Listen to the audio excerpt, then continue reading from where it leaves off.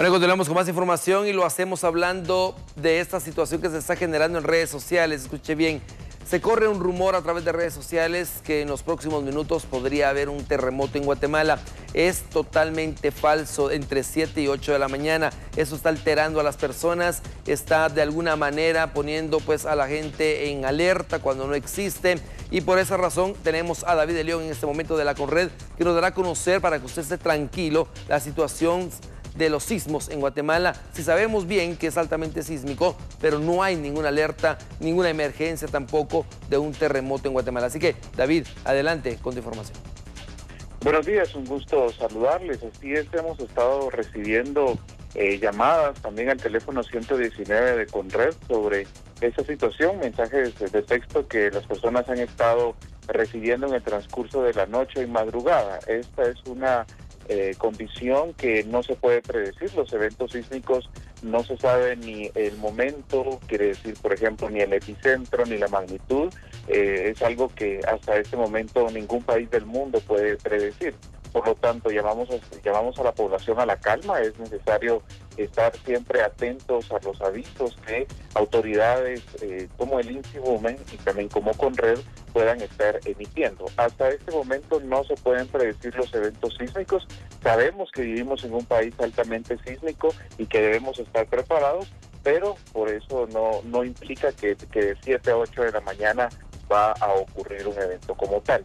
Debemos estar preparados siempre como familia en el lugar donde trabajamos, pero pedimos a la población no dejarse eh, llevar por este tipo de eh, condiciones o mensajes que las personas han estado recibiendo porque es una falsa alarma. Los eventos sísmicos no se pueden predecir.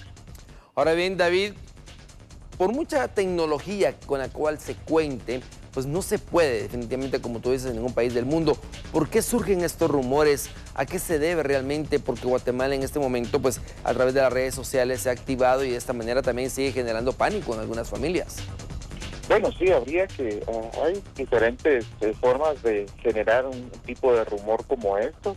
Eh, lo tuvimos después de, eh, la erupción del 3 de junio del volcán de fuego, el día 4 de junio, por ejemplo, cuando eh, circulaba incluso hasta un audio que debíamos de estar preparados. Esta situación es lo mismo, no podemos predecir un evento sísmico como tal, no debemos dejarnos eh, guiar por esto y no compartir este tipo de información. Creo que sería lo, el llamado que también hacemos a, la población, porque tanto en redes sociales como a través de mensajes eh, como WhatsApp, por ejemplo, se puede fácil compartir, copiar, pegar este tipo de información. Pedimos no hacerlo porque estamos contribuyendo a generar una falsa alarma que la población está recibiendo y en, diferentes grupos, ¿verdad? Sino que eh, indicar que es una situación que es falsa y no compartir ese tipo de información.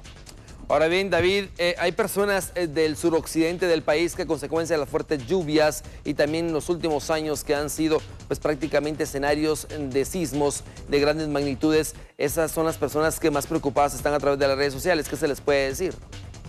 Bueno, sí, eh, hemos tenido actividad sísmica que se ha presentado principalmente en el Pacífico de Guatemala, pero debemos recordar que todo el territorio nacional está con una amenaza eh, sísmica eh, bastante eh, alta. Quiere decir que recordemos los eventos sísmicos que han tenido siempre en la costa sur, pero también los eventos sísmicos que han ocurrido con epicentro en el departamento de Guatemala. Hemos tenido en Zacapa, hemos tenido en otros sectores como Quiché, Sololá, en Huehuetenango. Quiere decir que el territorio guatemalteco está con esa amenaza de eventos sísmicos que debemos de estar atentos. No por esto vivir en, caos, pero sí considerar que la amenaza sísmica ha estado y va a continuar estando en el territorio guatemalteco y el factor clave aquí es prepararnos bien, construir con buenos materiales y saber qué hacer al momento que llega a, que se llega a presentar un evento como estos. Pero no podemos predecir un evento sísmico nuevamente, no hay una forma de, de decir que en el lapso de una hora va a ocurrir. Esto es totalmente falso. Hasta este momento no se puede predecir un evento sísmico.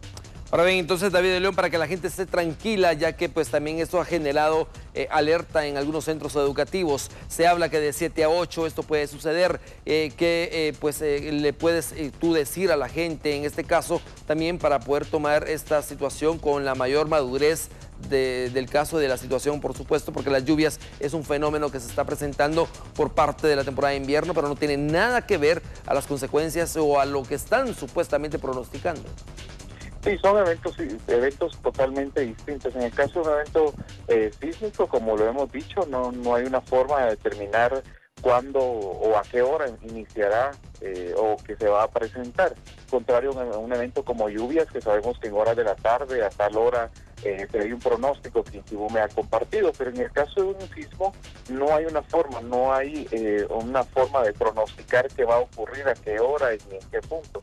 Eso es totalmente falso. No, no debemos dejarnos eh, guiar por ese tipo de personas, ese tipo de mensajes, comentarios si no es una fuente oficial, pero hasta este momento un evento sísmico no se puede predecir. Por lo tanto, en las escuelas, en los colegios, en los centros de trabajo, en todos los espacios en donde las personas en este día van a compartir, es importante considerar no hay una forma hasta este momento de pronosticar un evento sísmico.